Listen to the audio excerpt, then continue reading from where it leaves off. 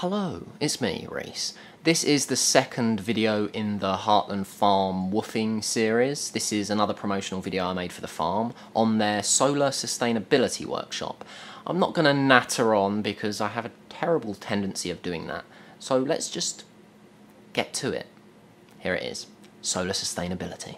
Heartland Farm's third workshop of the year hosted John Tyson, a retired electronic technician with over 10 years of experience setting up his own off-the-grid homestead. For the first time ever, John agreed to talk publicly about how his life had taken an unexpected turn into the world of solar sustainability.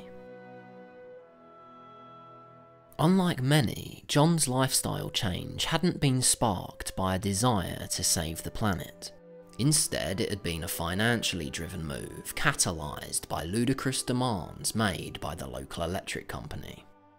Refusing to cave into said demands, John took it upon himself to find an alternative way to power his home. Ten years later, and John and his wife Susan have succeeded in their goal they live, creature comforts and all, with absolutely no reliance on the grid. They've done so by harnessing the awesome power of the sun through the ingenious devices we call solar panels.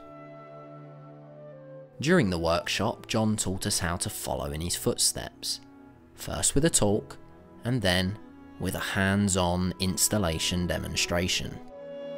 By the end of the day, we, as a group, had not only increased our knowledge, but had also installed two brand new solar panels for the farm's hermitage. Twas but a small step in the right direction, but a step nonetheless.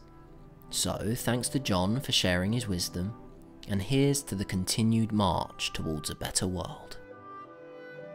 To keep up to date with our future workshops, please go to heartlandfarm-ks.org